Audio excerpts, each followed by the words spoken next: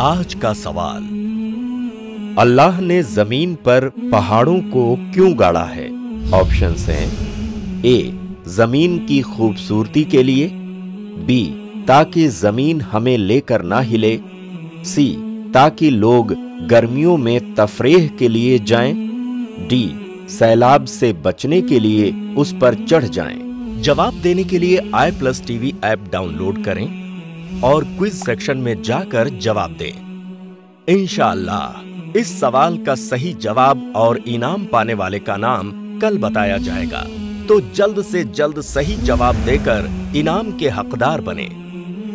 अब मुताला करें इन आयतों का। क्योंकि कल का सवाल इंशाल्लाह इन्हीं आयतों से होगा। अपनी तैयारी करके कल के सवाल में ज़रूर हिस्सा लें।